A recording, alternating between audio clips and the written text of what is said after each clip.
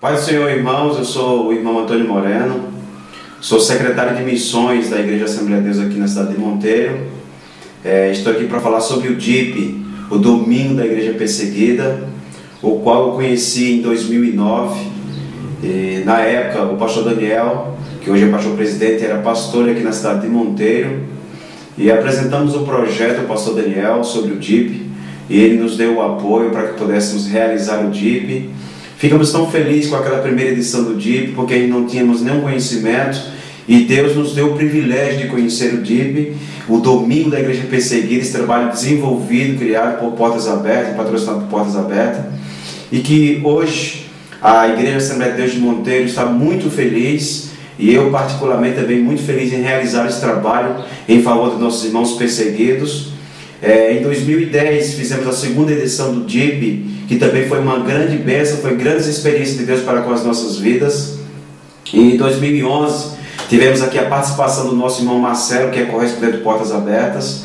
E nós temos vivido grandes experiências de Deus nas nossas vidas através desse trabalho tão especial que Portas Abertas tem é, instituído no Brasil e também em tantos outros países em favor da igreja perseguida. E eu me sinto muito alegre, muito feliz em participar desse evento, desse grande trabalho Portas Abertas.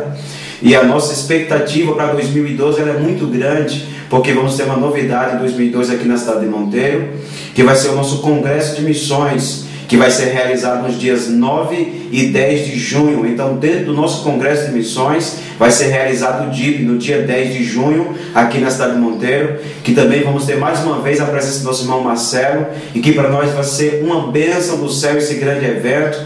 Vai ter igrejas convidadas, e vai ser uma bênção dos céus para as nossas vidas, como tem sido nos anos anteriores. Então, estou aqui para falar sobre o DIP e o prazer de realizar esse grande trabalho. Você também pode realizar esse trabalho, é, inscrevendo a sua igreja, a sua comunidade, o seu ministério. Participe desse evento.